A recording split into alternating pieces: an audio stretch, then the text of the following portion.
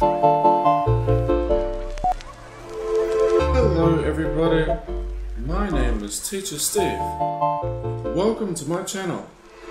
Today, I'm making a popsicle stick boomerang. You'll need four popsicle sticks.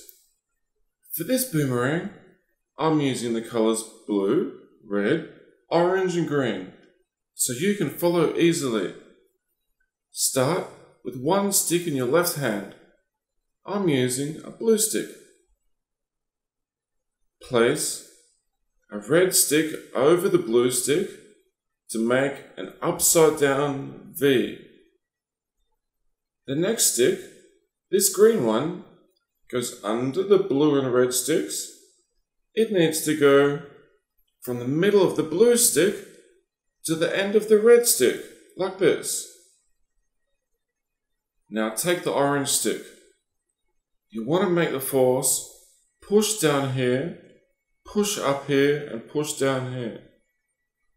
So the orange stick goes over the red stick, under the green stick, and over the blue stick. So all the popsicle sticks hold in place. We now have a popsicle stick boomerang. Hold your boomerang like this and throw the boomerang like this. Remember to put away your mum's special dishes so you don't break anything.